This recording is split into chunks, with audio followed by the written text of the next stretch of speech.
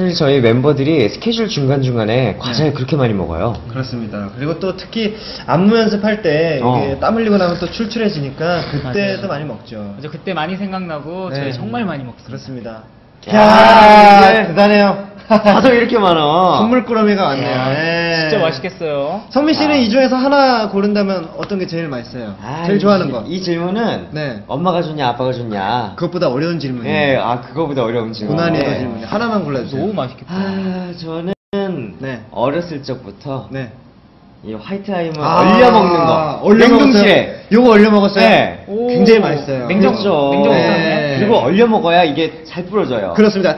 똑 하면서. 똑 하는 거. 알죠, 그렇지. 령 씨는 뭐 좋아해요? 저는 어렸을 때부터 이 네. 쿠쿠다스. 어, 역시. 와, 먹을 이 줄 아네. 그때랑 지금의 포장이 살짝 달라졌지만 그렇습니다. 음. 고급 과자의 시초였어요. 굉장히 오래된 맞아. 과자. 네. 굉장히 부들부들하고. 그럼 령 씨가 이 쿠쿠다스, 음. 아. 성민 씨가 화이트아임. 예. 나머진 다 제 거예요. 아이, 뭔 소리야. 에이, 이럴 줄 알았어. 먹어야지. 네, 하나만 줘.